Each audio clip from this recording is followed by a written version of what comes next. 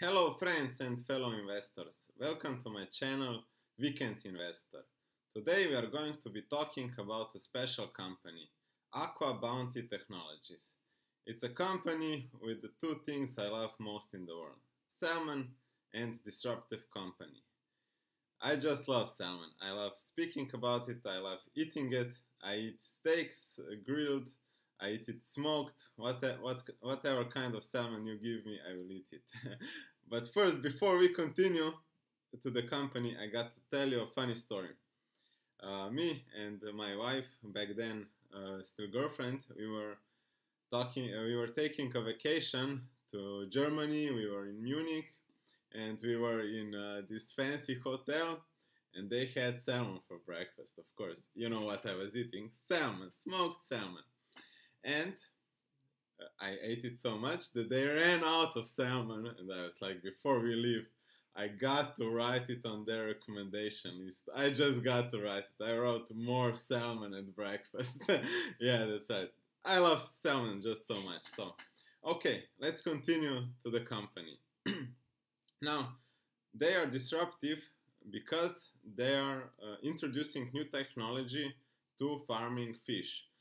Uh, their technology allows them to, to have land-based uh, fish farms for salmon, which is really, really innovative and not done before. Now, most of world's population eats protein, meaning meat and fish. So the demand is increasing rapidly. I mean, rapidly and all of our oceans are almost depleted. So they're helping the environment, but they're also helping the fish.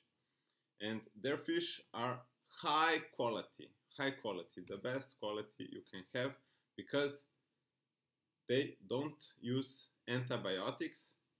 Their farms are not overpopulated like you see in many movies uh, on YouTube. And they have no contaminants, meaning their water is pure.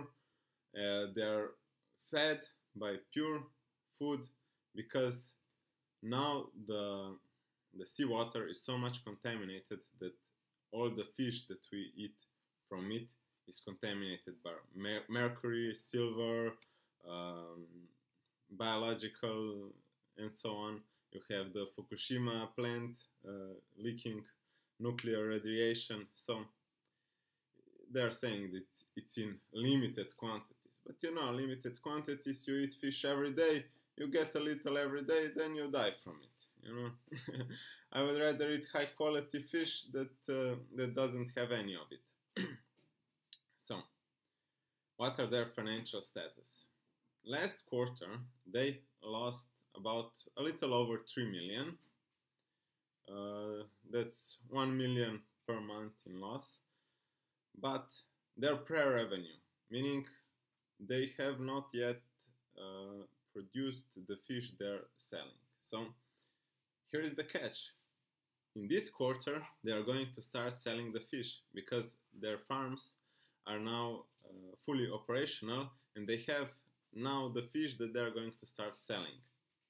And their, uh, their, their farms are located near near the near the distributors so that people are going to get fresh high quality fish quickly.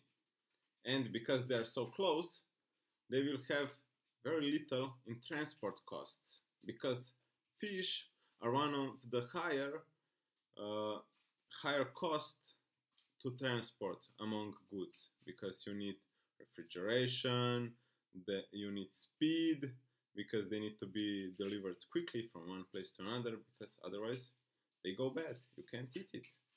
So these are all pluses and we will see now they okay so today they had a secondary offering it's not bad because we we can sort secondary offerings on two sides Bad ones, good ones.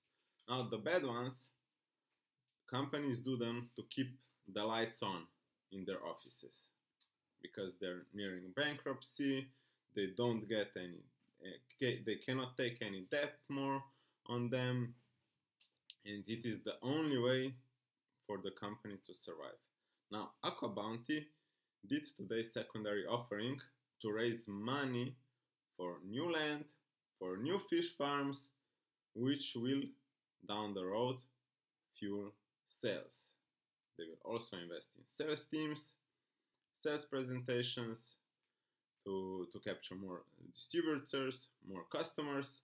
So this will all drive uh, further catalysts for the stock price increase down the road. Now,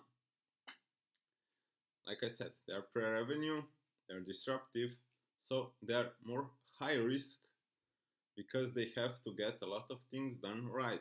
But if they get them right, we are talking about a multi-billion, billion, billion company because people eat fish every day and fish are disappearing from our oceans and they are providing a way for us to eat safe fish in safe environment not contaminating the environment they only got 11 million in debt so they are not encumbered by debt they like to finance uh, their their projects via public uh, secondary offerings of stock. So there is a little bit of risk down the road that they will do another one and they have to open a new farm. But if they get the things right in this quarter, we are looking at a two to three multipliers of the stock price. So we should be okay if they get it right. Now, what is the most important thing? Institutional institutional investors love this stock. I mean, love it. More than 60% is owned exclusively by institution. They, if you look at if you look at it like that, the first ones to buy are insiders. The second ones are institutional investors. Then there are professional traders, and the last one are retail traders. So every time we get a company that has high institutional investor ownership, we have to look what they know because we cannot get the information that they have access to because they're big players with big money, with lots of friends, meaning they get a little inside information there, a little inside information there, and they're like, ah, no problem, I'm gonna buy a few million uh, stocks, just like that. And when we see high concentration of institutions, it means that this company is doing something right. So this way, I see today's deep or secondary offering as an excellent buying opportunity because the price touched uh, the secondary offering price and it rebounded about 10%. It was in pre-market it was down 30%. Now it is down about 20% around the $7 mark. But I think we can only go up from here because they will now have about 100 million in cash, meaning they're fully financed for the next 12 months. And they have the money to buy new land, uh, produce new fish farms, and they're going to start getting revenue this quarter from the fish from the fish farms that they uh, that they made earlier in the year or last year. Now, who are some of the biggest institutional investors? There are ARK Investment, who is currently the hottest ETF on the world. Everybody who, who knows Cathie Woods knows that she's an exceptional investor. She invested in Tesla before it was cool. She put the the price target for Tesla at two two thousand and five hundred dollars, and this year it uh, achieved it, and she made massive profits. And everyone is looking what she is doing, and she is buying this stock. The second one is Randall J. Kirk, who is a very renowned investor in biotechnology in pharmaceutical um, space. So you got two big names that are buying this stock, that they're holding it, they are not selling, it, and they are just buying, buying, buying, buying, buying, buying. So I feel with confidence that this here today is an excellent, I mean, excellent uh, entry point. We, we will continue to see down the road where it leads us. I will do an update on this uh, on this company because I'm very intrigued where it will go.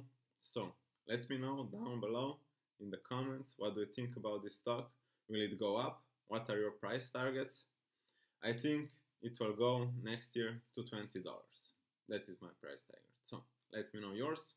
And if you like the content, click the like button, subscribe, comment. Thank you.